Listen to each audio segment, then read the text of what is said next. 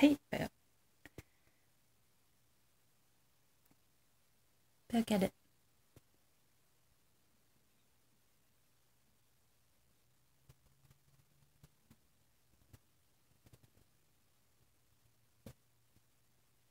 Bill. it's here.